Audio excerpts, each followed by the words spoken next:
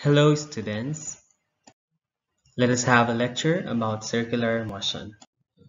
Now what if we involve time? What if we are interested in knowing how many minutes, how many seconds does that object need to complete a revolution? Or how fast do that, does that object move when it touches the land? Okay, so we're now referring to motion. And still, we are under circular motion. Again, we consider this car's wheel. Definitely, it has a radius, okay, because that is circular. Now, if it is moving, then there's a generated central angle, theta. When time is zero, then the car is not moving. When the time is now greater than zero, and the car definitely is moving. Now this red represents the arc, the arc length, right? But now we are referring it to the distance covered. That is now the distance covered by the object at a particular time, okay? So, in physics, the average speed is equal to the distance traveled over time elapsed by the particular object. Now, in trigonometry, we are referring to the linear speed when we are talking to the distance covered s over time. This v here is the speed which is equal to the distance covered over time elapsed. Well, hindi tayo nawala sa sinasabi ng physics. Okay? Now, what if we are interested in the angles? What if, if we are interested in the revolutions? So how many revolutions can be done at a particular time? Then that is the angular speed. The angular speed is interested in knowing the number of revolutions, the radians, that can be generated at a particular time. And that is symbolized by this one is a Greek letter omega, which is equal to okay. The number of radians the angle measurements in radians again that must be in radians over time. So you are interested in this case. The number of revolutions in a particular time. The linear speed is the rate at which the, the distance traveled is changing and this s here or the arc length will now become the distance in the new concept linear speed okay? Now the angular speed is interested in knowing the rate at which the central angle is changing the central angle theta which must be in radians okay? We normally talk about how many revolutions does it happen after a particular time or how many radians uh, per minute per second something like that and that's all about angular speed. So before we proceed to the examples we need to recall again that one revolution is equal to 2 pi radians okay? And the arc length s is equal to the product of the radius and the theta the central angle theta which is in radians and the circumference of the circle is equal to 2 pi r. Well all of these are helpful concepts that you need to recall to solve linear speed and the angular speed as we go through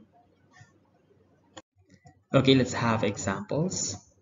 An object moves at a constant linear speed of 12 centimeters per second around the miniature of Ferris wheel with radius 5.2 centimeters. So it's like an experiment in this miniature of Ferris wheel. No? The object is, placed here. The object, well, there is a speed, a linear speed of 12 centimeters in every second. So it's moving that fast. How large of a central angle in radians does it sweep out in 5 seconds. Okay, now the given, we need to identify the given first. And after that, we know that we're looking for the central angle and that is theta represented here. We also know during our past discussion lecture about arc length that S is the arc length that is equal to the radius times theta but now we're referring to the distance s. But the formula does not change okay? Now we substitute the speed is 12 centimeters over second. Now we have 5.2 meters for uh, 5.2 centimeters for okay now let's look for the value of theta. So theta is equal to okay so 12 is equal to 1.04 times theta divide both sides by 1.04 okay again just hold your calculator so in the calculator it can provide you 150 over 13 and that is approximately 11.454 radians. Let us have the second example. The wheels of a car have radius 0.3 meters and are rotating at 600 revolutions per minute. Find the speed of the car in meters per second. Okay, remember, we have minutes, now we turn it to seconds, so we need to be very cautious onto that. On the first step, we must have theta and we know that we have already 600 revolutions and for each revolution we have 2 pi radians so we need to multiply 600 to 2 pi and it will give us 1200 pi radians and that is a total number of okay radians happened in that 600 revolutions. Now after that we're looking for the distance and we know distance s or arc length s will definitely be used and we are now referring to the distance covered by that particular wheel of the car. So that is a product of the radius 0.3 meters times 1200 pi and that is the number of radians which is equal to 360 pi meters. Okay? Now the linear speed of that car is s the distance over time but when we go back to the given it is in here that nakaminuto siya. Okay? Kaya dito 600 revolutions per minute. But now we are looking meters per second. So if our answer is 365 meters lang then you're referring to every minute. So we need to divide 360 pi meters to 60 seconds because 1 minute is equal to 60 seconds and that is equal to 6 pi meters per second. Remember, we are conscious now kasi ang tinanong dito ay meters per second. So we need to convert 1 minute to seconds and do the division. The answer is 6 pi meters per second. So we have the first example. A boy rotates a stone in a 5 foot long sling at the rate of 15 revolutions every 10 seconds. Now this boy can rotate that object into 15 revolutions in every 10 seconds. Now we're going to find the angular and the linear speed of this stone. Now in 10 seconds, the angle theta changes by 15 times 2 pi, where we have 15 revolutions and uh, in every revolution we have 2 pi so we have 30 pi radians now the angular speed by substitution omega is equal to theta which is now equal to 30 pi so we just solve it. And substitute time that is 10 seconds we have 3 pi radians per second. For linear speed the arc length s will serve as the distance. So we're solving the arc length and that is radius times theta.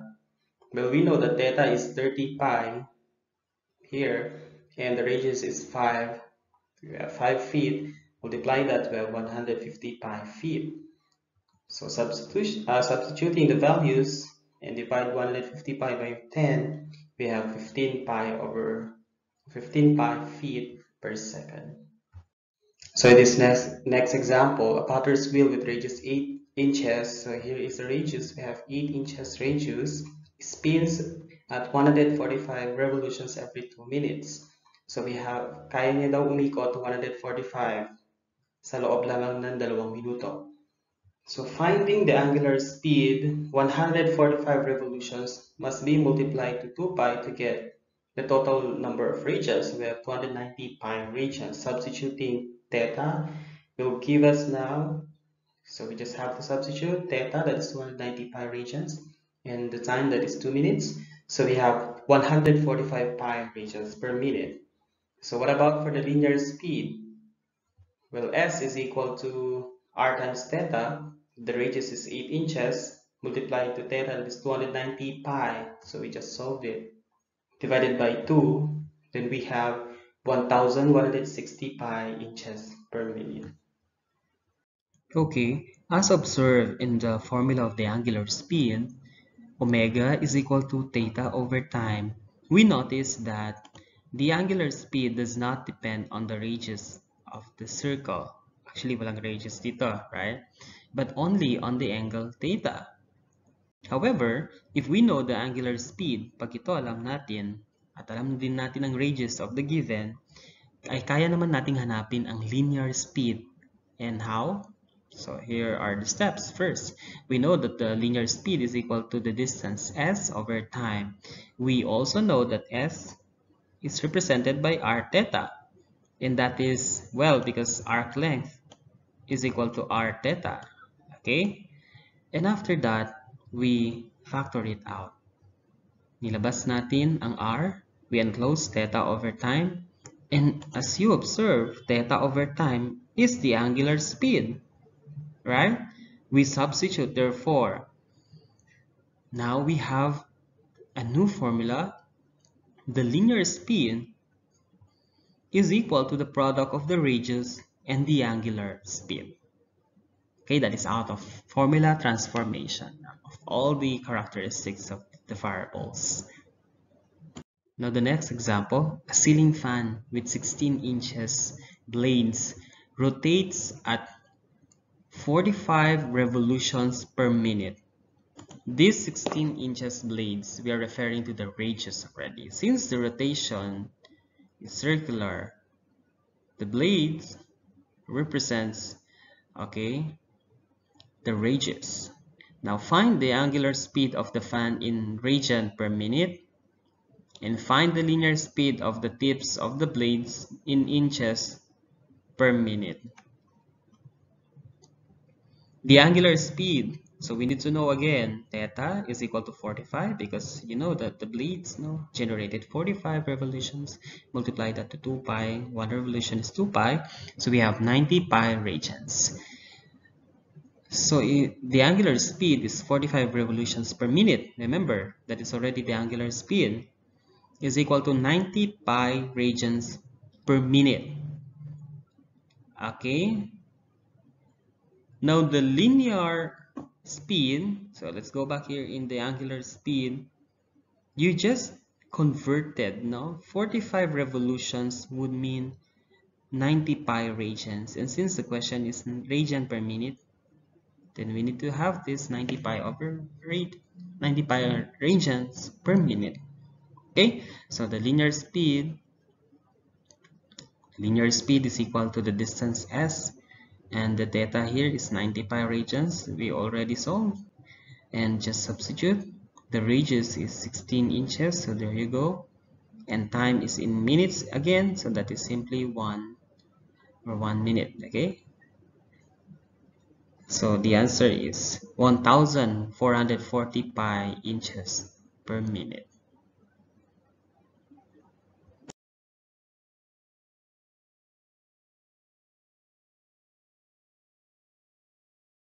time. But what if we are using this another formula just presented a while ago that the linear speed is actually the product of the radius and the, the angular speed. So let's try. We know also that theta is 8 times 2 pi which is 16 pi radians because of having 8 revolutions. Okay, now the angular speed, uh, sorry, the linear speed v is equal to r times the angular speed omega and radius is 2. So 2 feet ang radius natin and theta is 16 pi so substitute over time that is 15 seconds.